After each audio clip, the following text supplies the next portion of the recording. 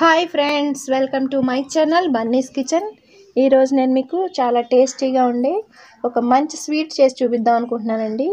ఆ sweet name వచ్చి double కమేటా చాలా టేస్టీగా ఉంటుందండి. అప్పటికప్పుడు మనం ఇంట్లో తినడానికి కానీ ఎవరైనా గెస్ట్లు వచ్చినప్పుడు పెట్టడానికి కూడా చాలా డిఫరెంట్ టేస్టీతో ఉండే ఈ స్వీట్ తప్పకుండా మీరు కూడా ట్రై చేయండి. దీనికి కావాల్సిన ఇంగ్రీడియంట్స్ వచ్చి నేను ఒక బ్రెడ్ ప్యాకెట్ తీసుకున్నానండి. దీనికి వచ్చి పన్నెండు పీసులు ఉన్నాయి. ఒక బ్రెడ్ ప్యాకెట్ తర్వాత ఈ పీసెస్కి సరిపడా ఒక కప్పు కాచి చల్లార్చిన పాలు. నేను ఆల్రెడీ ఇప్పుడు మళ్ళీ క్రీమీ స్ట్రక్చర్ వచ్చేలాగా ఈ పాలను బాగా కాస్తాను. టూ స్పూన్స్ నెయ్యి కొద్దిగా బాదం తరుగు మీ దగ్గర పిస్తా కిస్మిస్ ఇంకా డ్రై ఫ్రూట్స్ ఏమున్నా సరే వేయండి. కొద్దిగా కాజు తీసుకున్నాను నేను కొద్దిగా ఇలాచీ పొడి. నెక్స్ట్ ప్రిపరేషన్ చూపిస్తాను. నేను ఇప్పుడు ఈ బ్రెడ్ పీసెస్ని చుట్టూ అంచులు కట్ చేస్తున్నాను.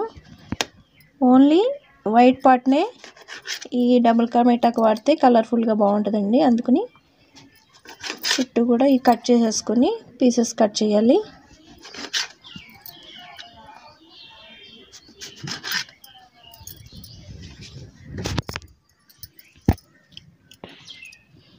ఇప్పుడు ఈ పీసెస్ని మ్యాక్సిమం ఈ బ్రెడ్ పీసెస్ని కొంచెం డ్రైగా ఉండేటట్టు చూసుకోండి.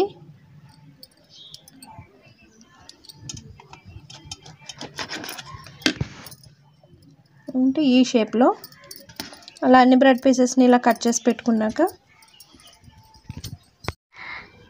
ఇలా కట్ చేసి పెట్టుకున్న ఈ బ్రెడ్ పీసెస్ క్వాంటిటీకి ఒక కప్ షుగర్ పడుతుందండి. ఇప్పుడు నేను స్వీట్ తయారు చేస్తాను. మీరు కూడా చూద్దరుగానండి. నేను తీసుకున్న ఈ కప్పు పాలని కూడా హాఫ్ కప్ మిల్క్ అయ్యే వరకు బాగా మరిగించుకోవాలండి. అంటే క్రీమీ స్ట్రక్చర్ వచ్చే వరకు కూడా ఈ పాలను బాగా మరిగించాలి. బాగా చిక్కబడి ఇప్పుడు నేను ఈ బాదం తరిగేస్తున్నాను ఈ పాలల్లో. నెక్స్ట్ ఇలాచీ పొడి. ఇంకొద్దిగా చిక్కబడిన తర్వాత తీసి పక్కన పెట్టి నేను స్వీట్ రెడీ చేసి చూపిస్తాను మీకు. పాలు బాగా చిక్కబడి ఇలాగా క్రీమీ స్ట్రక్చర్ వచ్చింది కదండి ఇప్పుడు నేను మీకు బ్రెడ్ స్లైస్ వేపు చూపిస్తాను. నేను ఒక వెడల్పాటి మూకుడు పెట్టుకున్నాను ఇందులో కొద్దిగా నెయ్యి వేసి. నెయ్యి వేడెక్కిన తర్వాత ముందుగా నేను తీసుకున్న ఈ కాజు దోరగా వేపుకోవాలి. మంచి కలర్ వచ్చాయి కదండి ఈ జీడిపప్పు. ఇప్పుడు ఒక గిన్నెలోకి తీసుకుని డీప్ ఫ్రైకి సరిపడా ఆయిల్ పెట్టుకోవాలి. ఈ నేతిలోనే మీ దగ్గర నెయ్యి ఉంటే నేతిలో కూడా వేపుకోవచ్చు ఈ బ్రెడ్ పీసెస్ని. కానీ నేను రిఫైండ్ ఆయిల్ వేసి వేపుతున్నాను. ఆయిల్ బాగా వేడెక్కింది. ఇప్పుడు నేను ఈ బ్రెడ్ పీసెస్ని మంచి కలర్ వచ్చే వరకు ఈ బ్రెడ్ పీసెస్ వేపుకోవాలి. కలర్ వచ్చిన తర్వాత ఈ పీసెస్ అన్నిటినీ ఆయిల్ లేకుండా పక్కకు తీసుకోవాలి. నేను ఇప్పుడు అదే మూకుల్లో ఆయిల్ అంతా పక్కకు తీసేసి ఒక కప్పు షుగర్ తీసుకున్నాను కదండి. దానికి ఈక్వల్ క్వాంటిటీ వాటర్ కూడా తీసుకొని పాకం వచ్చే వరకు తిప్పుకోవాలి. పాకం రెడీ అయిపోయిందండి. ఇలా స్టిక్కీ స్టిక్కీగా ఉండాలి. కరెక్ట్గా ఉంది పాకం. ఇలాంటప్పుడే నేను ముందుగా వేపు పెట్టుకుని ఈ బ్రెడ్ పీసెస్ని ఈ పాకంలో యాడ్ చేయాలి.